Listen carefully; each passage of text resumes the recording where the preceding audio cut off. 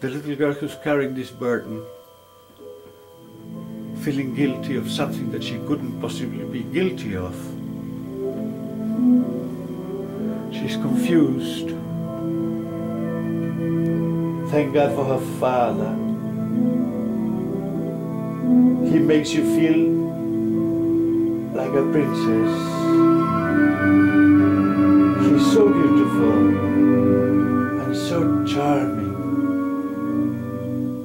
For you, the idea of love is this one.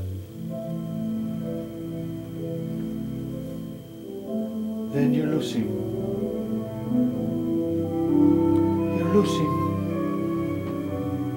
You're never going to see him again.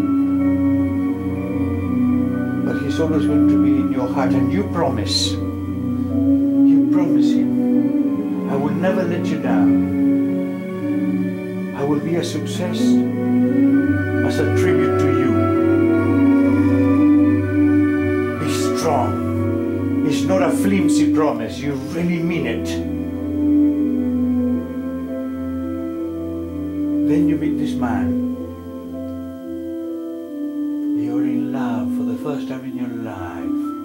How does it feel? Just feel it. Don't. There you are. He even reminds you of your dad. Now your life starts to make sense. And then, betrayal. He lies to you. You don't know who he is. But you're not going to let it to destroy you. Be strong. And once you're strong, you see this man who looks at you like never before. And allow optimism.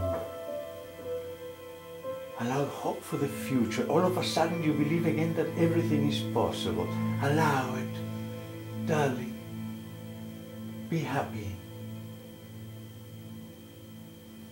Cut! Wow.